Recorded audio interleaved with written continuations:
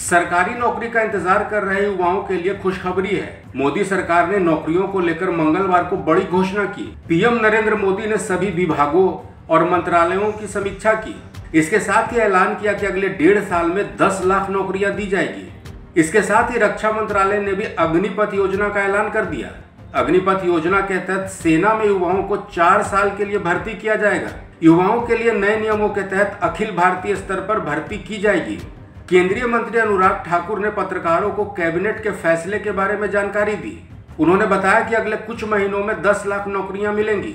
अग्निपथ योजना के बारे में बताया कि ट्रेनिंग के बाद जवानों को अग्निवीर कहा जाएगा।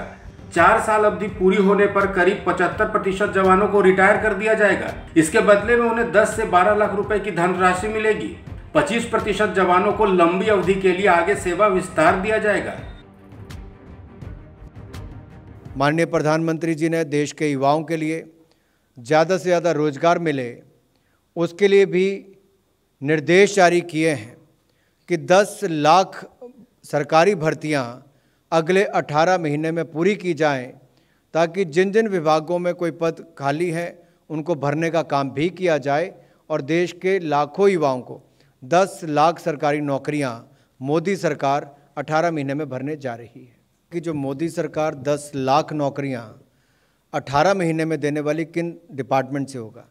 ये सारे भारत सरकार के डिपार्टमेंट्स में जो पद खाली हैं, उनमें भरने का इसको शुरुआत की जाएगी और अठारह महीने भी इसलिए रखा गया है कि इसको जल्द से जल्द सभी विभागों को निर्देश दिए गए कि जितनी जल्दी हो सके आपको भर्तियाँ शुरू करनी है।